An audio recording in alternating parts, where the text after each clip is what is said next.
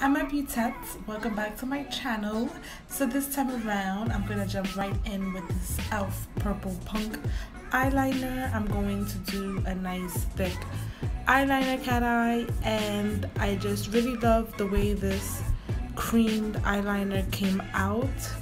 I was testing it out, I was an e.l.f. and I actually wanted to try it and I really loved the black so much that I had to come and try the purple one and so now I'm just outlining this was the outline sketch of it and now I'm just gonna go in. And yeah so we're just gonna continue to fix it to shape it. Um, I'm just going in with my outline I'm going in with my inner corner and I'm just gonna keep on fixing it. And that's what you see here. I'm just gonna continue to fix my liner. I kind of sketched it out here of how I want my eyeliner so now I'm just going to apply more and fix it and do it how dramatic I would like it to be. Yeah.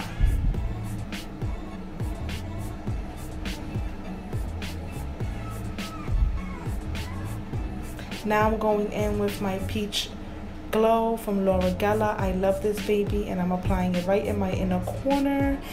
And I'm going to apply all my highlighters actually in my inner corner because I love that it gives such a pizzazz for the look and it's nice sparkly and glittery all things that I love. So yeah I'm just gonna apply this Makeup Revolution peach kiss and I'm just gonna apply it in my inner corner. And that is from Makeup Revolution I just showed it on my last video don't forget to check that out. I could drop that link down below so you can be able to see how to strobe and also use it for your inner corners. And I'm to keep doing it on this side also. Now I'm going to go in with my white e.l.f.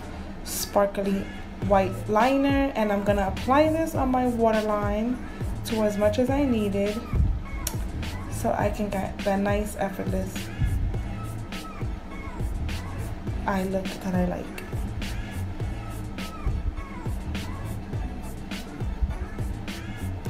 Now I'm going to also go in with my Big Lash Mascara from Essence Cosmetics.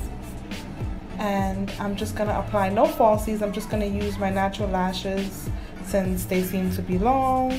Um, and I'm just to apply that with this look here.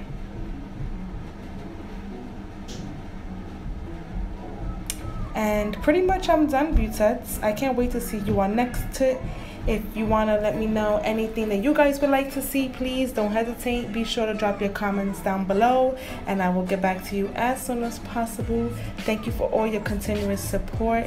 Your girl Canvas Beauty loves you and take care. See you on next tip bye bye